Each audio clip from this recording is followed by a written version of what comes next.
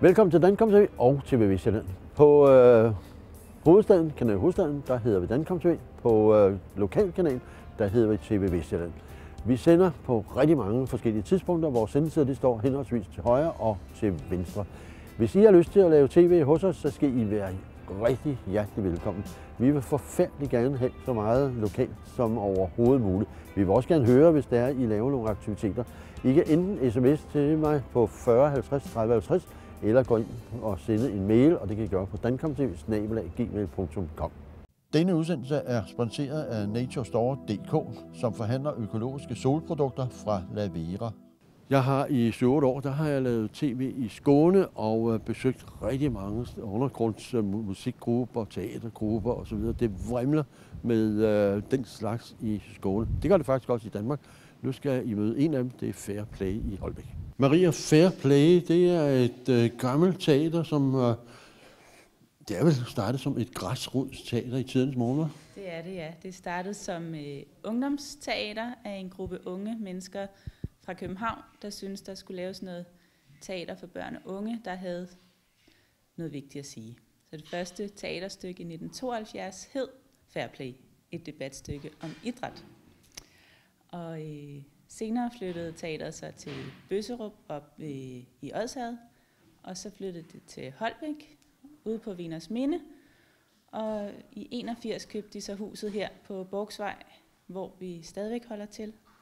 Og i dag er vi et veletableret børne- og ungdomsteater med syv fastansatte og freelance skuespillere, instruktører og dramatikere til de forskellige forestillinger, vi laver. Vi spiller stadigvæk primært vores, øh, de fleste af vores forestillinger på turné, men har fået flere og flere øh, aktiviteter i huset i de sidste øh, fire år, hvor jeg har været ansat her. Og vi laver små forestillinger for børn og unge. Små i den forstand, at vi kan maks have 150 publikummer til en forestilling. Når vi spiller her i huset, kan vi maks have 80. Men det er sådan en form for intim teater, kan man sige, ikke? Jo, altså vi, øh, vi er jo en del af børneteaterbevægelsen, der startede i slutningen af 60'erne, starten af 70'erne, som gjorde op med, at børn skulle ind på de store institutionsteatre, men møde kunsten i øjenhøjde. Og det er stadigvæk det begreb, vi synes er vigtigt, at helt konkret være i øjenhøjde med de børn og unge, der ser forestillingerne. Selvfølgelig også mere overført betydning, at forestillingernes temaer og historier er i øjenhøjde med deres publikum. Så det er det, der er vigtigt for os. Så I blev etableret dengang, hvor det var, at folk kom ind, børnene kom ind på de store teater, og så kom der en frem og så sagde, når lampen lyser, så må I grine, og I må klappe, når den er slukket? Ja, det kan man sige. Jeg var der jo ikke selv dengang, men øh, det er sådan også nogenlunde, hvad jeg har forstået. Ja. Er det så sådan, at øh, I tager ud og, og har gæsteoptræden alle mulige steder i landet, og der kommer gæsteoptræden her i huset? Ja, vi spiller øh, som sagt de fleste forestillinger på turné, og det betyder, at vi spiller ud på skoler, i børnehaver, på biblioteker, i teaterforeninger, afhængig af hvem der køber forestillingerne. Så spiller vi også vores egne forestillinger her i huset, og i næste sæson skal vi som noget helt nyt også have gæstespil. Så vi får tre gæstespil i løbet af efteråret for de 2 til 8 10-årige. Det er lidt forskelligt, hvad aldersgruppe de har. Men for børnehavebørn og øh, indskolingsbørn og deres forældre. Men generelt har vi rigtig godt fat i børnehaverne, så vi har tidligere spillet to uger i træk med formiddagsforestillinger for børnehavebørn. Øhm, skolerne har vi også haft held med at få fat i nogle gange, men det er lidt sværere. Og, og de offentlige forestillinger, der har vi prøvet at spille tre forestillinger i træk, som kunne være udsolgt, men vi har ikke prøvet mere end det. Og det er fordi, det primært er turnéperioder, og øh, skuespillerne er ansat i bestemte perioder, hvor man så skal lave prøve og premiere og forestillinger og en festival. Vi har lige været afsted på Børneteaterfestival, hvor vi sælger vores forestillinger. Det er, hvor alle teater, børneteater mødes, og så øh, viser I lidt prøver, og så siger skoler, børnehaver og institutioner, vi vil gerne købe jeres forestilling. Øh, ja og nej, vi viser ikke prøver, vi viser hele forestillingen. Det er en hel uge, som foregår et nyt sted i Danmark hvert år. Det er verdens største teaterfestival for professionel scenekunst for børn og unge.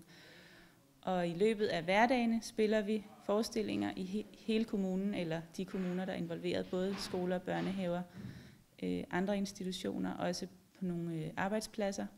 Og i weekenden spiller vi så alle forestillingerne centralt i værtskommunen, og der kommer så opkøbere og formidlere fra hele landet.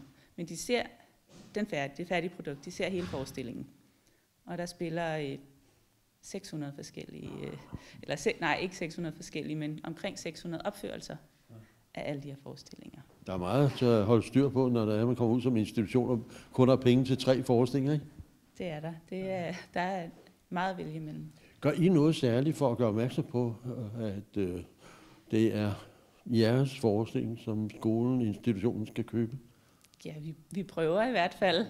Øhm, altså, vi prøver at fortælle, at vi har noget vigtigt på hjerte, og at det er nogle oplevelser, der kan give børnene noget, de ikke vil kunne få andre steder. Øhm, sidste år lavede vi en forestilling, der hed Klottnegade nummer 33, der hænger en plakat herover. Øhm, og den er jo lige blevet Rømert nomineret. Tillykke. Tak. Så det er vi rigtig glade for. Så det viser jo, at noget af det når ud til nogen, der synes, at det også er noget af det bedste. Så det er vi jo rigtig glade for. Hvad er det, I er ved at gøre klar til inde i salen? Det er forestillingen i Guds navn, som er vores nye øh, ungdomsforestilling. Den skal spille her i morgen formiddag kl. 11. Og øh, der har vi været heldige, at der kommer en gruppe fra CSU, Center for Specialundervisning. De er nemlig ikke ramt af lockout, så de vil gerne komme og se vores forestilling. Det er en øh, meget anderledes forestilling for os. Vi har haft en instruktør udefra, som også selv har skrevet forestillingen. Han hedder Nils P. Munk og øh, arbejder meget med publikumsinvolvering. Så det har hele tiden været planen, at publikum på en eller anden måde skulle involveres, og det er så endt ud med, at der ved hver forestilling kommer fire unge med på scenen, som vælges blandt publikum, når de ankommer. Øh, og det er, det er meget specielt, og det virker meget stærkt, øh, fordi publikum ser noget andet, end de ellers ser, og især hvis de, øh, hvis de kender dem på scenen. De kan spejle sig i dem på en anden måde, end de ellers vil kunne. Hvor kan man læse om jeres teater? Man kan gå ind på vores hjemmeside, der hedder www.fairplay.dk, og vi har også øh, en Facebook-profil og en Facebook-side, hvor man kan finde os. Så der kommer sådan jævnlige opdateringer, og ellers hjemmesiden, hvor der står om vores forestillinger, og hvor man også kan tilmelde sig et nyhedsbrev. For 50 år siden, der startede Nærgaard med at sælge spidsteltet fra en garage. I dag, der har han en stor virksomhed, hvor han blandt andet har specialiseret sig i autocamper. 1. maj er der jubilæum 50 år. 50 år i en branche, det er rigtig meget. Hvad kostede et, spil, et spidstelt for 50 år siden? Et spidstelt for 50 år siden, det kostede ca. 125 kroner. Og hvad koster det i dag? Øhm, de samme modeller, de laves ikke længere. Fordi dengang var det et spidstelt uden bund, og det var det virkelig. Det er der mange, der griner af det. Fordi man, man kan slet ikke forestille sig, at, at, at det var sådan. Men du købte altså et lille spejdertelt, og der var jo ikke rigtig, der var begyndt at komme campingpladser, men øh, det var jo øh, lejerklubber af forskellige art, som drev de campingpladser, og øh, kommunale pladser osv. Og det var de små spidstelte, der blev stillet op på det tidspunkt, som man købte, eller som man lejede. Fordi selvom det lyder af få penge, så var det for mange alligevel øh, en del penge, således at man lejede sådan et. Og lejede bunden ved siden af. En liter mælk kostede 8 øre dengang. Måske nok noget af den stil der. Men det var jo inden vi havde campingvognen, det var inden vi havde autocamper.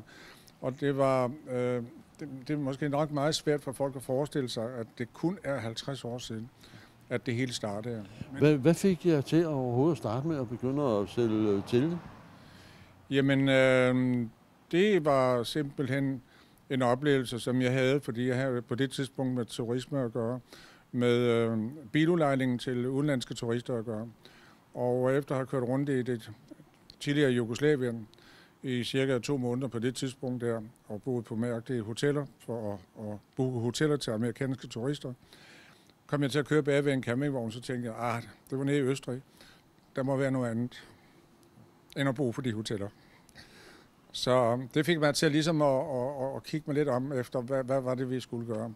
På det tidspunkt var jeg altså begyndt at lege lidt med telte og så videre, og det gjorde vi i 63. Og det her, det skete faktisk i 64 eller 65. Hvor vi så startede op med campingvogne, og campingvogne, det var fra MKP, den danske fabrik i Kolding, som øh, jeg senere blev øh, med ejer af efter en omvendning på fabrikken, hvor der skete en hel masse ting så drev vi den øh, to-tre stykker sammen. På det danske marked solgte man omkring 9.000 om året, og i dag sælger man under 2.000 om året. Det er noget, som, som, som, som, som gør rigtig ondt på en branche. Og i samme situation, i samme tidspunkt nu, øh, må jeg nok indrømme, at øh, autocampermarkedet det er stabilt.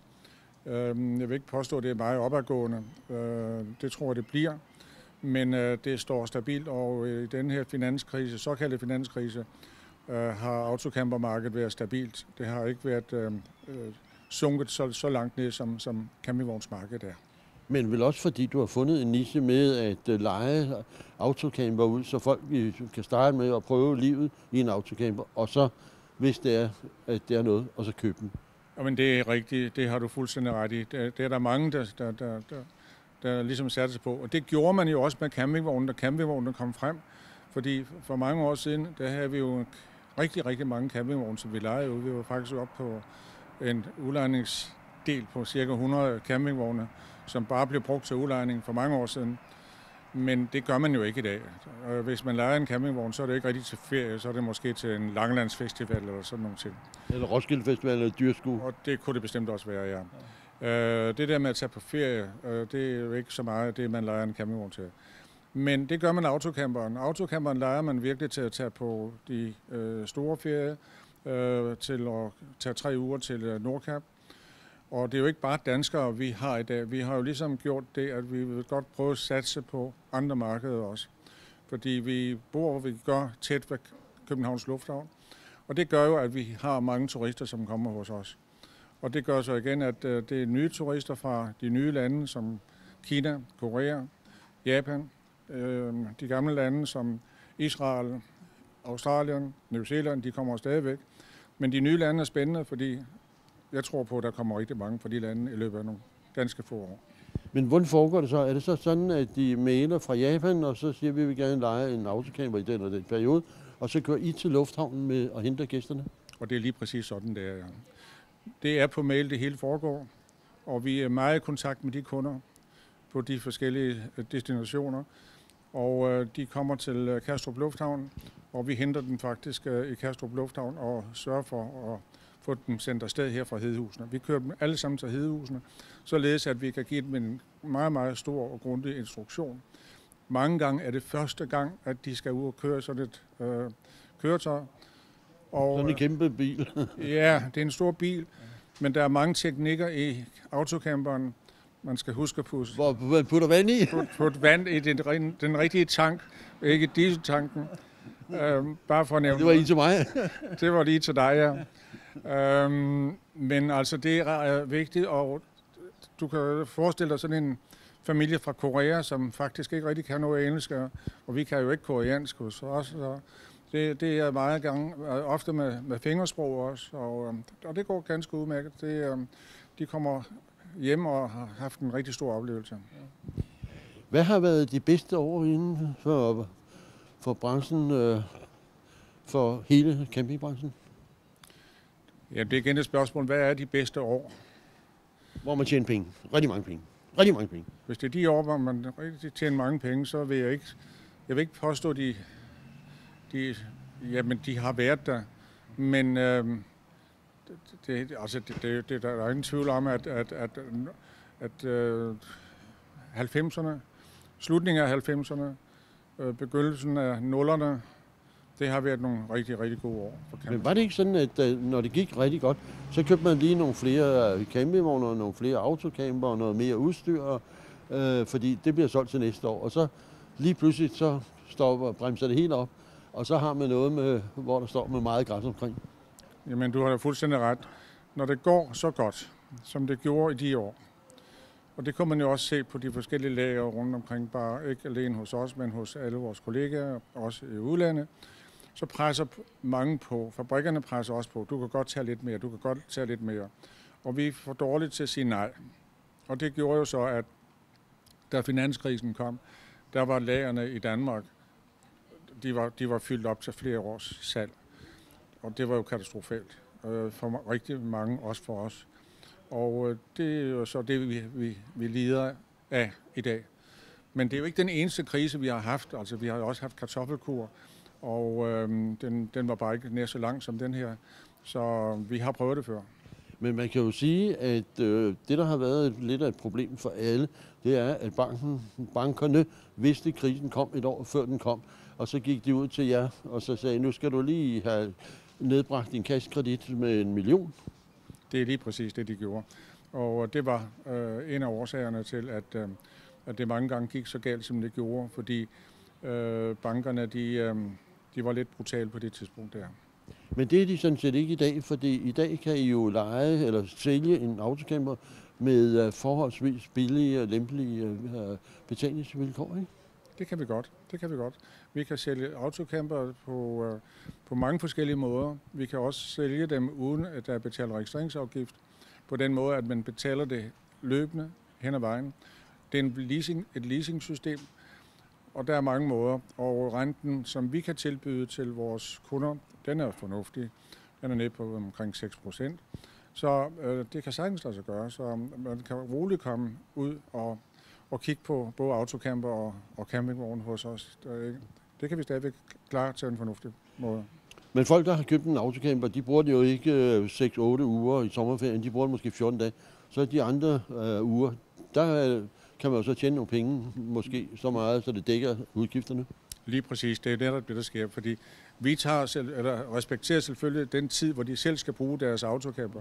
Øh, der booker vi jo ikke nogen legemål på den, men al den øvrige tid, hvor den bare skulle stå stille, så kunne vi jo lige godt få den ud at køre og tjene nogle penge til de pågældende mennesker, og, og netop få den øh, omsat og solgt på den måde der. Det er et system, som vi kører meget på i øjeblikket, og som vi har fået rigtig mange gode kunder på. Så skal jeg lige spørge, øh, når nu dem, der har lejet autocamperen eller campingvognen, nej, autocamperen, kommer tilbage med den, så kan der jo være papir og snavs og alt sådan noget. Er det sådan, at I rengør den, inden I afleverer den til dem, der ejer campingvognen? Jamen det gør vi jo hele tiden. Det gør vi jo også mellem den, det enkelte legemål. Vi har øh, rengøringsfolk, som går den igennem udvendigt og indvendigt. Den bliver fuldstændig pinligt rengjort. Og så vil jeg også godt sætte en stor finger i den der myte med, at jamen, dem, der leger, de passer ikke på den. Det passer ikke.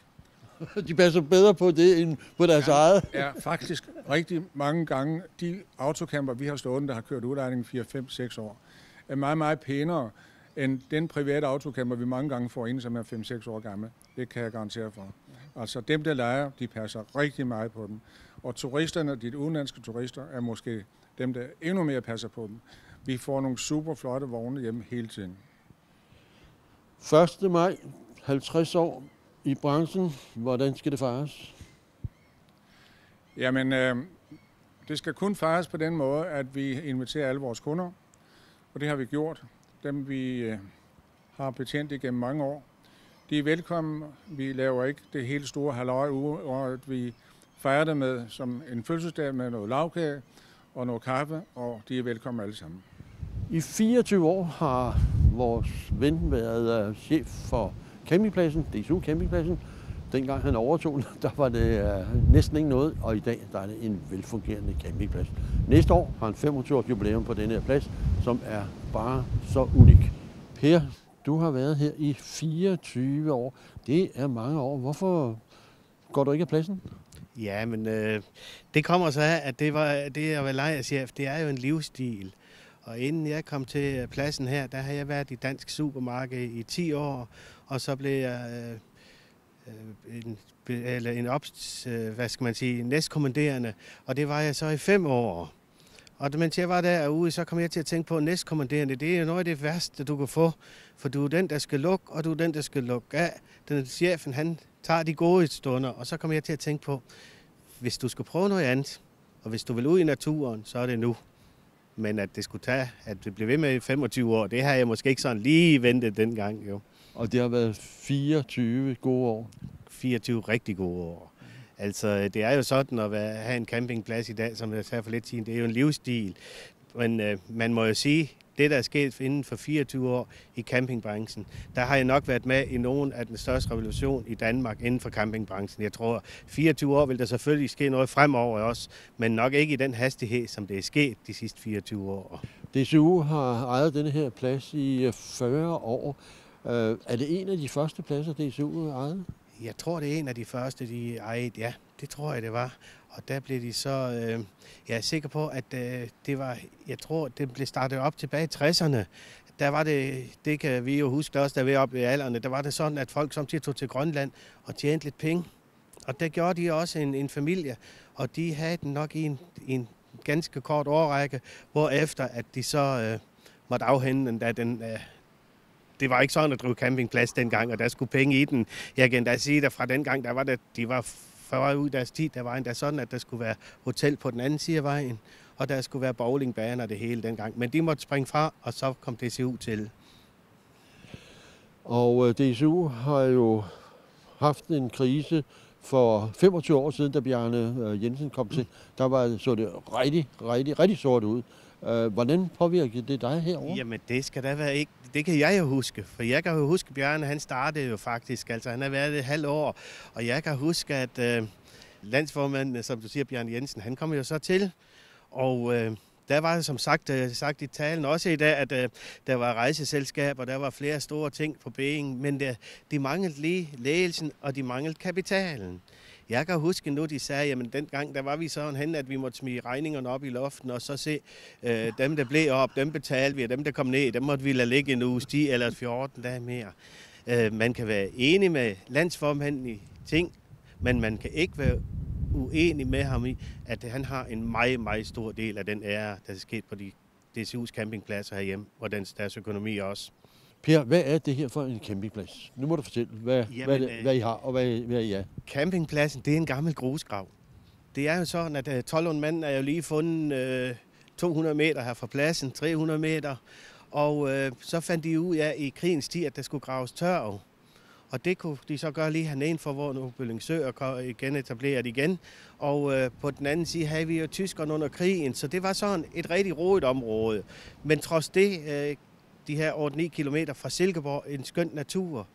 Og det så de her tidligere ejere, dem der startede herude, så jo potentiale i, at her var en natur, der var skøn. Og det skal også være øh, fint. Vi har en fantastisk, fantastisk natur her. Men de skal komme hertil, fordi de vil have en anden oplevelse. Det, som vi har kunne være helt ærlige uden at, sige noget, vi, øh, vi har selv må rose os selv for. Vi har kunne drive pladsen, fordi vi har gjort det anderledes end alle andre. Hvordan? Jamen, øh, vi kan jo tage hver eneste år, så må folk trække på smilbånd, eller de må lade være, men fast hver eneste år i uge øh, 29 øh, har vi Candice til frit benyttelse, at folk holder en festaften. Vi har holdt du, i lokalerne, vi har været i, har vi holdt den ene store fest efter den anden. Vi kan sige, at vi har haft alt lige fra rubberband til ja, til Peter Belli og Kjeld og Hilde, altså alle de kendte danskere. Der har vi haft det sådan, at vi har lavet det til et must, at folk kom ud til en oplevelse, de kunne tage med, også om aftenen. De kunne tage børnene med op, og de var lige så velkommen, som forældrene var. Og så kunne de gå hjem og sove, og de kunne trygt få en glad aften og lidt at spise, og simpelthen have en niche der, som vi har forstået at udvikle og udnytte. Og så skal vi jo heller ikke glemme, at vi ligger jo i tæt ved Silkeborg. Jeg er jo nok Jyllands smukkeste område, det siger vi i hvert fald. Og der har vi nok øh, ligesom sagt, at det er, det, er vi, det er vi glade ved, og større for at stå sammen i et samarbejde, så vi får proverer vores pladser. Og DCU også gør det. Altså simpelthen, vi ved jo alle, at DCU har gratis børn, de har nogle øh, fordelsregler, og de har nogle fordele ved det hele, så derfor synes jeg, at, øh, at den har vi meget, meget stor gavn af. Det er en meget stor plads, vi har herude, og hvis det var sådan, at vi skulle op og have en, en top, vi ved jo alle de store pladser med, med alle stjernerne og wellnesscenter og så videre, det kan vi jo ikke gøre alle sammen. Vi kan tilbyde en hæderlig, en flot plads med hvad det skal bære på en campingplads i dag, lige fra svømmebassin og vandrutsjebane fire legepladser, tre hoppepuder, moonkarter kører og så videre, minigolf. Det skal være der i dag. Og så skal vi sørge for, at det er vores kunder, vi lever af. Altså det skal være sådan, at vi er der 24 timer i døgnet, faktisk for dem. Og så skal vi være parat til at byde dem velkommen lige så vel om vinteren som om sommeren. Vil det sige, at I har åbent hele året? Vi har ikke en eneste dag, hvor vi ikke har lukket op. Vi har ikke en eneste dag hele året, hvor vi ikke har en campingvogn, der kommer køreren. Så det er 365 dage, at, vi, at vi har. Så øh, jeg vil sige, at jeg har snart været her i 25 år, men jeg tager ikke 25 år mere. Hvad så, når der er meget sne her? Fordi det hører vi jo over på Sjælland, at øh, jyderne har fået rigtig meget sne. Jamen, det er jo en fornøjelse. Det er jo det bedste, der kan ske, hvis vi virkelig får sne. Fordi at, øh, så har vi øh, de første år, vi var her, der har været flere år, hvor der ikke har været sne, men vi har nogle skønne bakker over på den anden side af vejen. Jamen, så er det et traktor med at spille på, så folk de kan komme ud og stå på ski, jo, ikke også? Og jo mere det kan lukke ind, jo mere øh, kommer folk i deres vogne, fordi så skal de altså virkelig ud, og de skulle helst nå at komme og kunne sne ind herude, jo, ikke også? Så i år har vi haft omkring en 120-30 stykker i vinterhalvåret, og vi har ikke en eneste weekend haft under 10, der kom kørende med campingvognen. Så det er en fornøjelse også om vinteren. Og I har en købmandsforretning. Hvad har I i den? Jamen, der har, vi har alt. Vi har alt, og det er jo nok fordi, som sagt, jeg er jo skadet lidt af, af min øh, forrige erhverv, men altså, der kan de få alt. Hvis I nu går ind og kigger i dag, der er friske grøntsager fra morgen, ja, det kom i morges, der er mælk, og vi, nu har vi så småt begyndt at gå, også gå lidt ind i økologi, der er økologisk, økologiske varer, og også, de, kan få, de skal have sådan, at de kan få til rimelige priser, også sådan at de ikke skal ind og køre. Det er et must. Hvis I nu kigger her omkring, så har vi lige bag ved os har vi en, en iskiosk, og til venstre højre for os har vi en grillvogn. Det, der også har været med til at udvikle Hesselhus, det er, jamen man kan da måske nok sige, hvorfor har I det? Jamen det er fordi, at det, der skal drive vores campingplads sammen med det, som vi har gjort, det er miljøet. Vi kunne da godt sige til os selv, nu er vi ved at være oppe i år, nu lukker vi iskiosken, nu lukker vi grillvognen, nu gør vi det ene og det andet, men så er miljøet væk. Derimod, når vi har 300-400 vogne inde, og der er lidt, de kan få en gang pomfritte, det er ikke politisk korrekt, men de spises altså stadigvæk, og de kan få en hjemmelavet isvaffel med skum, og de kommer op og går en tur. Lukker vi dem ned, og lukker vi butikken, så er miljøet væk fra vores campingplads. Per, hvad kan man opleve i en radius af 30 km herfra? Jamen, I kan opleve alt. ja, det er hårdt sagt, men vi har, vi har er der en pibe med her i, vi i har området? en, øh, vi har en, øh, ja det ved jeg ikke, om ikke engang mere for pibe med, det er jo nok, nok en af de små, men jeg kan sige, at der er Nørdings piber, som her over fra Djævløen og over fra København, der er en stor, øh, den her Erik Nørding, der laver piber. En god ven, han øh, kommer faktisk herude fra lige lidt uden for Silkeborg, så, men jeg tror ikke, han fabrikerer mere derude. Men ellers så har vi jo, jamen vi har øh, Silkeborg som en virkelig turistvenlig by. Vi har Søerne, og vi har jo altså også Jejlene, vi har alle Jejlen, og vi har simpelthen et øh, småt, hvad skal man sige, små ting rundt i byen. Vi har været forskånet for Silkeborg. Der er ingen Bilka, der er ikke de helt store varehus. Så vi har, har en, en, en bymidte, som virkelig er venlig for de boende, men i særdeleshed for turisterne. En stor torvedag hver eneste dag. Vi har, når vi kører til IKAST, der er det store, øh, vi har selv øh, vandrutsjebane, men der er et vandland. Vi kan tage golf. Min nabo er hen 400 meter, der er et golfhotel, golfcenter. Øh, 200 meter er der en put and take. På den anden side af mig, der er øh, et af de største genetablering af, af naturprojekter i Danmark, Bøllingsø, som egentlig skulle være blevet fuld af vand efter fem år, efter to år. Nu er der 12 km rundt om, hvor folk kan gå turen rundt om søen også. Så øh, kom bare, vi skal nok tage imod. Denne udsendelse blev sponsoreret af NatureStore.dk, som forhandler økologiske solprodukter fra Lavera.